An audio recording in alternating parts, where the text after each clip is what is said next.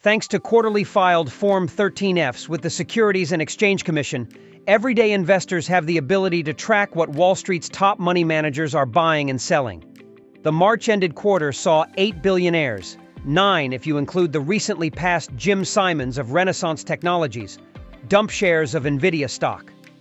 However, the three most prominent billionaire sellers were Philippe Laffont of Coatue Management, Ken Griffin of Citadel Advisors, Israel Englander of Millennium Management. While profit-taking is a viable reason that could explain why prominent billionaire asset managers sent NVIDIA to the chopping block during the first quarter, there are a few other headwinds that may have encouraged this exodus. Before we begin, this video is not an investment advice and must do your own diligence. However, with my experience investing for years, the content from this video has a solid research foundation. Check our Patreon on the description below for an inside members-only access on what are the best buys now. We will also update you on what to sell for gains or to avoid losses. Subscribe to our channel so you will never miss out.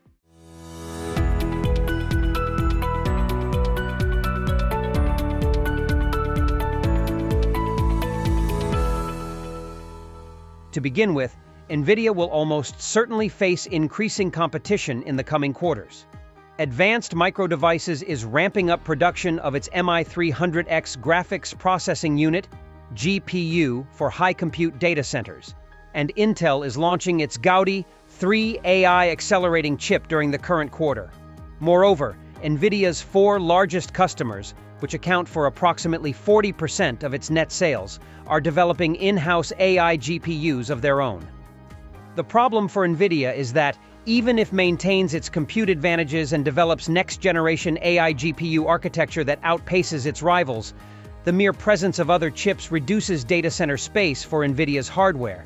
It also limits the AI GPU scarcity that's driven its pricing power into the heavens. Perhaps the most damning factor of all might just be that no buzzworthy innovation, technology, or trend over the last 30 years has escaped an early-stage bubble. History shows that investors always overestimate the uptake and utility of new technologies, which makes it likely that AI will follow suit. If the AI bubble were to burst, NVIDIA's stock would likely be hit hard. But while these top billionaire investors were busy sending shares of NVIDIA to the chopping block, they were piling into three surprising value stocks. Philippe Laffont, PayPal Holdings. NVIDIA's biggest billionaire seller undeniably had eyes for the leading financial technology, fintech stock during the first quarter. Coatue Management's 13F notes that the fund picked up more than 8 million shares of PayPal Holdings, PYPL 1.80%, which as of March 31st were worth almost 539 million. Although competition is increasing among digital payment and peer-to-peer -peer payment providers, most of PayPal's important user metrics signal continued growth. Payment transactions grew by 11% in the March quarter to 6.5 billion, while total payment volume has sustained a double-digit growth rate, sans currency movement. Furthermore, the company's active accounts are more engaged than ever, Though active account growth has stalled in recent quarters, the average payments completed by active accounts over the trailing 12-month period has increased from 40.9 at the end of 2020 to 60 on the nose as of the end of March 2024. Since this is primarily a usage-driven platform, higher engagement is a recipe for an increase in gross profit. With Wall Street's consensus calling for nearly 16% annualized earnings growth through 2028, a forward price to earnings PE ratio of less than 13 makes PayPal stock quite the deal. Ken Griffin, Bank of America. The world's most profitable hedge fund since inception, which is overseen by billionaire Ken Griffin, opted to trade out shares of NVIDIA for time-tested financial institution Bank of America, BAC 4.42%. Among America's largest banks by assets, Bank of America is the most sensitive to changes in interest rates. The Federal Reserve's most aggressive rate hiking cycle since the early 1980s might not have been well received by borrowers, but it's been a godsend for lenders like BofA. The longer the nation's central bank stands pat on interest rates, the more net interest income BofA and its peers can collect. Bank of America also deserves plenty of credit for its technological prowess. While it might not be the first company you think of when it comes fintech innovation, BofA's digitization efforts are paying off.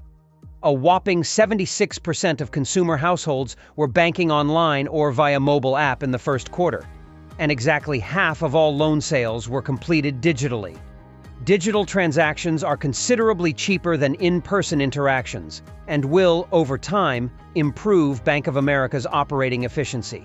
A forward PE ratio of a little over 11 suggests that Bank of America stock is still a bargain for investors. Israel Englander, Merck. Although billionaire Israel Englander is known for his love of fast-paced tech stocks, its pharmaceutical company Merck, MRK 0.31%, that proved to be the apple of his and his investment team's eye during the March-ended quarter.